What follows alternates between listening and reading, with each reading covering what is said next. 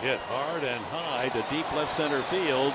Back goes Kotsay and makes the catch as Venable goes bumping by. That could have been disastrous. Took a lot of strength for Kotsay to hang on to that. Venable crashing in behind him.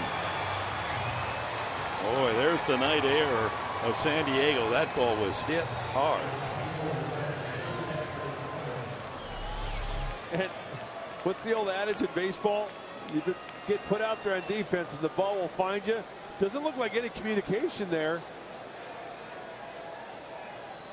Boy, you talk about great concentration. Yeah, he got hit right in the yeah, chops yeah. by Venable. The left forearm of Venable gets Kotsay right in the face.